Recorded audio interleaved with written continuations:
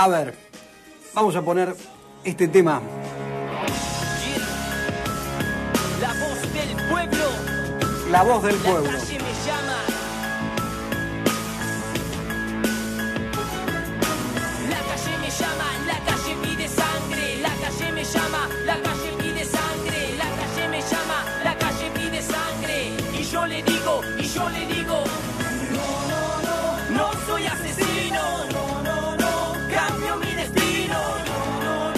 No, quiero la nueve. No, no, no, no quiero la 40. Cambio mi destino, lo que sé lo que digo. No soy un asesino. Mira lo que escribo, mira cómo camino día a día sobrevivo. No le temo al peligro. No le temo al peligro. Soy la voz de mis vecinos, no me voy a callar. Las rimas son mis armas y las voy a usar. No voy a parar, no voy a parar, no voy a parar. Criado en un barrio donde vi lluvias de. Soy la voz de los vecinos o de mis vecinos y no voy a callar. Milton, la voz del pueblo. ¿Cómo estás, Milton? Buenas tardes. Buenas tardes, Hugo. ¿Cómo Eh, va?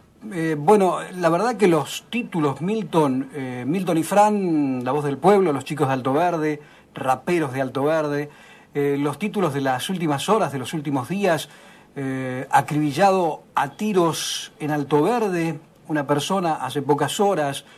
Hoy eh, los titulares indican encontraron restos del cementerio en una calle de, Alto Verde. Yo me imagino que mm, vos nos podrás contar un poco lo que, lo que se vive y cómo, eh, cómo lo viven. Eh, incluso ayer mm, charlábamos un ratito y, y me decías realmente terrible lo de la persona que fue acribillado porque deja a dos chiquitos prácticamente solos. Eh, y, bueno, son, son cosas que seguramente ustedes en Alto Verde están sufriendo, ¿no? Sí, la verdad que hubo, bueno, la, primero por, por darnos la oportunidad de, de poder eh, expresarnos, contar también lo que, lo que sentimos los, vecinos de Alto Verde, eh, que es mucha indignación por lo que por lo que pasó también con el estado de la calle, que encontraron eh, letras, lápidas, eh, crucifijos, eh, restos de, huesos también, de, que eran de personas. Eh, la verdad que la gente está muy molesta porque si bien uno pide que hay una mejora en el estado de las calles, no para que puedan transitar los vecinos, sino también para que pueda pasar, si es que tiene que pasar una ambulancia, si tiene que pasar el patrullero o el eh, no pedimos que sea cualquier precio, que traigan eh, lo que lo que sea para mejorar la calle, y más sentimos que es una falta de respeto para los vecinos y también para, para las personas, eh, para los familiares de las personas que, que, que fueron y tiraron esas cosas ahí, creo que, que mucha indignación y también por lo que pasó también eh, hace horas nada más con, bueno Martín también que era un, un chico de, del barrio que nos da nos da mucha bronca también a los vecinos porque entendemos que hace falta un poco más de seguridad que o sea no se no se puede patrullar tampoco por el estado de las calles como te decía. O sea está impasable si uno va a alto verde eh, te puede dar cuenta que, bueno, los ahorros no, se están haciendo, está bien, muchas veces porque quizá el, tiempo no ayudó, pero eh, de agua las calles, impasable, o sea, no puede transitar el colectivo, todo lo que implica eso también para, para los vecinos de poder ir a trabajar, y, y bueno, eh, un montón de, de- de cosas más. Sí, sí, acá Jorge me, me está confirmando Sí, sí. que el, el estado de, la, de las calles, ¿qué es la calle principal la que se está en la que se está trabajando, Milton?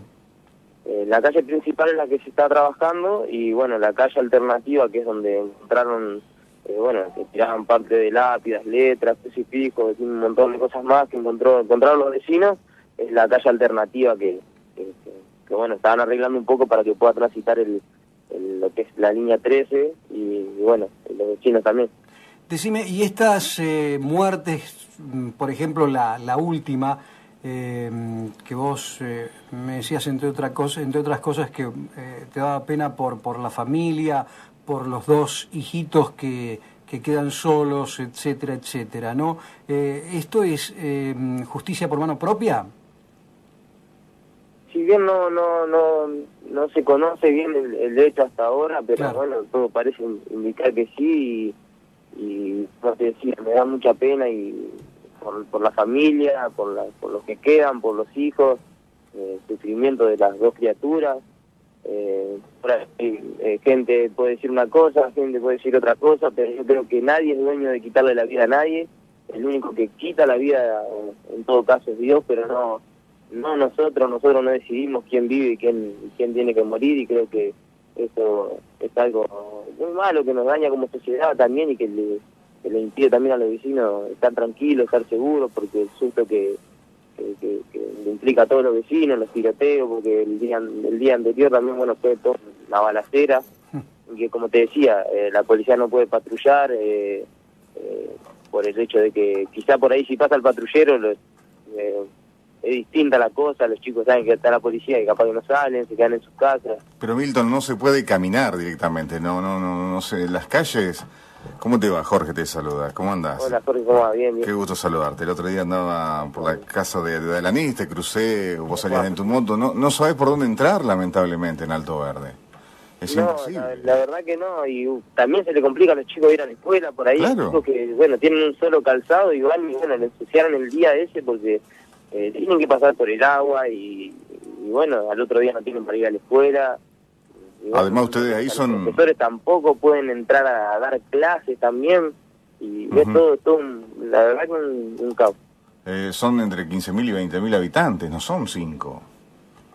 Sí, sí, no, muchísimos habitantes y bueno, la gente que está más alejada, que es la gente del paraje La Boca, que tiene que hacer todo lo que es un, una gran caminata para llegar a poder tomar el cole, es impresionante, tienen que salir a las 5 de la mañana de su casa para poder llegar y agarrar el primer colectivo porque o sea las calles son no el colectivo no entra y bueno ya cuando estaban bien las calles por ahí no entraban porque estaban más o menos no bien tampoco imagínate ahora Jorge que, que no se puede ni estar caminando. Claro Milton, espero que prontito vengan por acá, así nos, nos muestran algo más de lo que están produciendo ustedes como, como músicos eh, para, para esta etapa de, de, del año 2016 y ojalá que, que, mejoren las cosas allí en el, en el barrio. Eh, son la voz del pueblo cantando y también eh, es importante que puedan ser la voz del pueblo narrando lo que les sucede todos los días cómo es esto que realmente preocupa, ¿no? Porque lo de hoy, la verdad que no, no, no, tiene explicación. Esto, estas cosas que han aparecido en calles del barrio, es, es, insólito. Sí, la verdad que, la verdad que mucha preocupación, indignación, eh, bronca y, bueno, como decían algunos, algo macabro porque no, que había, un vecino decía, vi mi perro que venía con un hueso, dice, y me asombró ese porque no era un hueso eh, normal, dice, era un hueso de, un, de una persona. Dios mío. Gracias, Milton. Abrazo y saludos a la familia. Bueno, gracias a ustedes y bueno, gracias porque siempre están y un saludo y un abrazo a toda la gente. Chao, amigo. Ahí está Milton, Milton y Fran. Sé lo que digo, no soy un asesino. Mira lo que escribo, mira cómo camino día a día sobrevivo. No le temo al peligro, no le temo al peligro. Soy la voz de mis vecinos, no me voy a callar. Las rimas son mis armas y las voy a usar. No voy a parar, no voy a parar, no voy a parar.